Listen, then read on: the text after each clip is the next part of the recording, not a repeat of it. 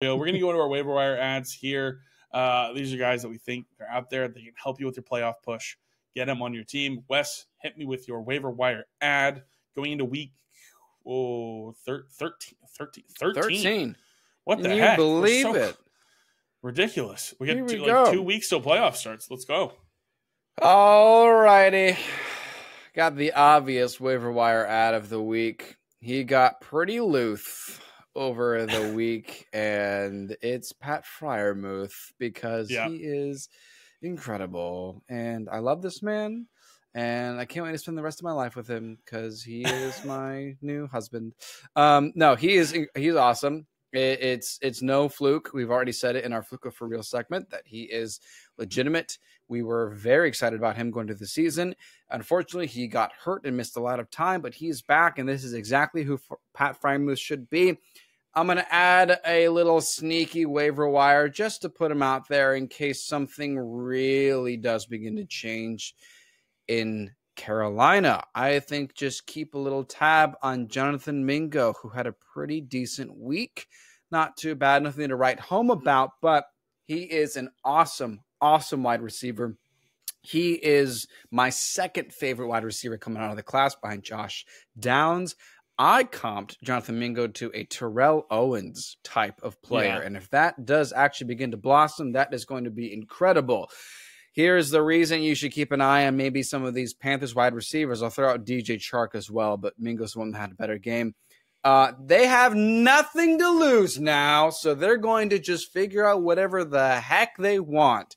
And that's usually when teams start playing really well because they. I I don't know if mathematically they're out. Probably not because their division is pretty bad. But Jonathan Mingo, good wide receiver. They just fired their head coach. He just caught four of six for 60 yards, and they're going to play Tampa Bay this week, who's allowed the fourth most points to wide receivers.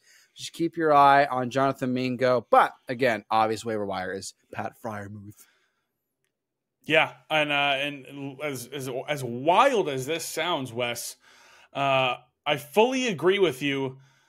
Uh, legitimately, my clear waiver wire add for the week is Pat Freiermuth. He is forty nine percent owned. He is definitely somebody who should be out there and uh, on your team. Eleven targets, nine catches, one hundred twenty yards. If this was still a Matt Canada offense, I would write this off, but it is not. It says something when you're an offensive coordinator for a team for so long and in 58 games you haven't gone over 400 offensive yards. And then in your first game as a team when you fire that offensive coordinator and you go over 400 yards of offense that means something. There you go. Like I, I Mhm. it's there it's simple as that. So that is my clear waiver wire add. And no joke my under the radar addition in the waiver wire is Jonathan Mingo. He is 16% owned. He led the team in receiving. Frank Reich was just fired, and there could be a change. There could be a shift. They could want to see these two rookies do more together.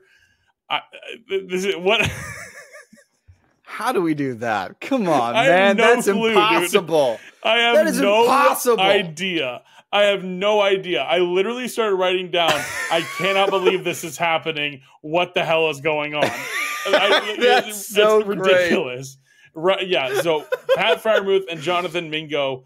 It may be There a thin waiver wire this week. I don't know. Maybe that was it. Pat Freiermuth, very obvious, but Jonathan Mingo, a guy that I really like. I have on a couple dynasty teams. Exciting to see him do some stuff here, and he plays so much. He's on the field so much. He's he plays such a high percentage of snaps. So Yeah. Jonathan Mingo is up here for you in uh, in the waiver wire if you're Fourth looking for double somebody.